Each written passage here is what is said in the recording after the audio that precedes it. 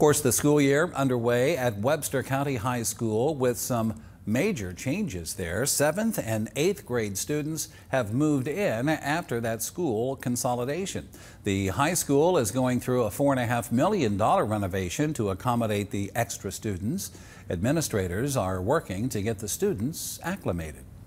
Um, our students now, um, our seventh and eighth grade students, are working to become acclimated into the high school now through band, sports, um, all of those different things, as well as you know they're learning a new advisor advisee program where those teachers are given charge over a group of students to stay with them the next couple years um, to help them get that sense of family and.